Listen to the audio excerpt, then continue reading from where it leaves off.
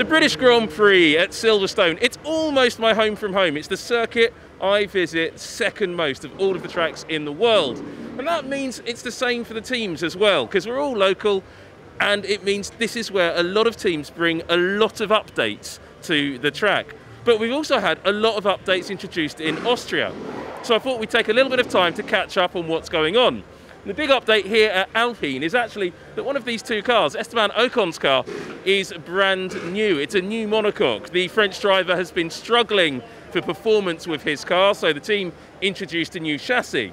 Why does that make a difference? Well, these chassis are hand built. The monocoque is sandwich of carbon fibre and aramid and other synthetic fibres.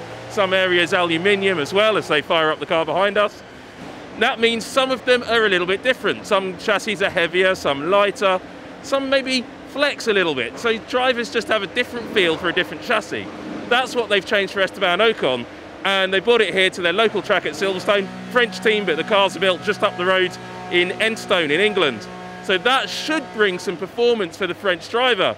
If it doesn't, the team are really going to have to find something else to make Ocon comfortable in that A521 car.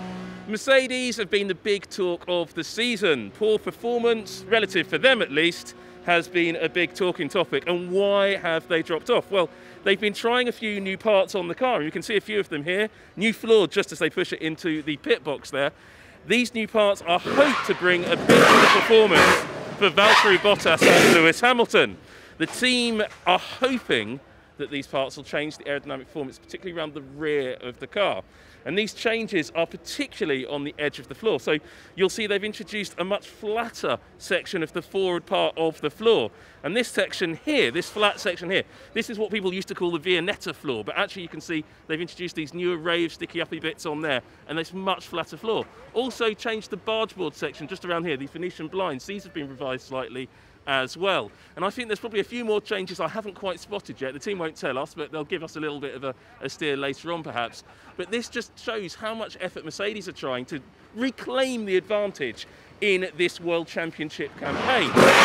Will it work? I don't know. These are pretty fundamental changes to the car and they will have knock-on effects later on. But let's go down and have a look at their championship rivals. Mercedes are locked in a super tight championship battle with this team, Red Bull Racing. And they too have introduced a huge swathe of new parts onto their car. A lot of these parts of course, introduced in Austria last time out. And you can see there, though, some new parts for Silverstone on the edge of the floor. Once again, revisions to the forward section, just ahead of that step section of the floor. You can see those silver metal parts. Those are brand new. Then look to the rear edge of the floor there. You can see these new longitudinal strakes with those silver sections front and rear. That's brand new for Silverstone as well. Then on Max Verstappen's car, this is Max Verstappen's car we're looking at, you can see the bargeboard section, the Venetian blinds. They revised this lower section down here for the Austrian Grand Prix. I'm expecting a few more developments coming in this area on the car as well. Red Bull also introduced in the Austrian Grand Prix a new front wing on Verstappen's car. I'm not sure it's on the car at the moment. No, it's not. This is the older specification wing. The, the, the, earlier specification wing had actually a bigger sort of uprise section on the in face. And then here on the upper elements of the wing, these were slightly revised for Verstappen in Austria as well. Still a lot of development on these cars.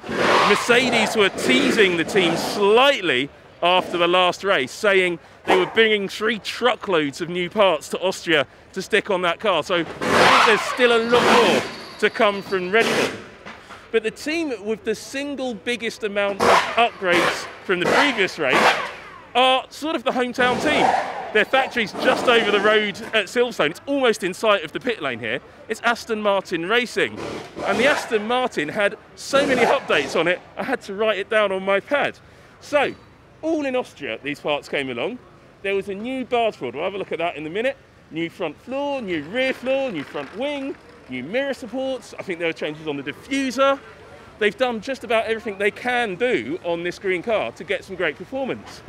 And here you can see some of the changes on the rear floor. So if you look here, you can see that section just ahead of the rear tyre. You see how close the rear tyre sits to the edge of the floor as well. Crucial area of aerodynamics, trying to channel that flow inside the interface of the rear wheel, blocking out that vortex, the so-called tyre squirt, getting into the diffuser.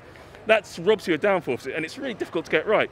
But this bridge section over that array of sort of sticky uppy bits, that's brand new. They introduced that in Austria as well. A few new sections around the front of the floor as well. New sticky uppy bits. A lot of change around here. These two turning vanes here, just on the top of the pod wing, those introduced in Austria as well.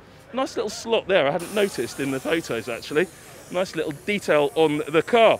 Team's still doing a lot of work around that. These are the new sticky uppy bits on the Halo. That was introduced a few races ago. We saw that in Baku. Then around the front of the car, a new front wing was also introduced last time out.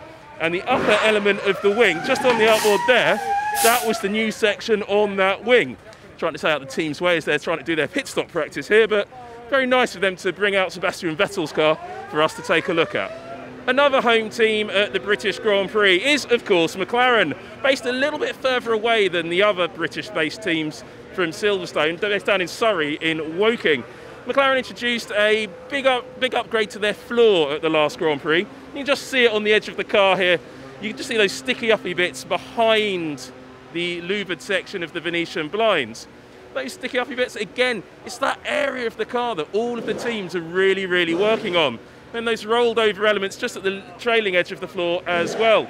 And it shows us that despite a new rulebook being introduced for 2022 and aerodynamic test restrictions, budget restrictions, the development war in Formula One is still well and truly ablaze.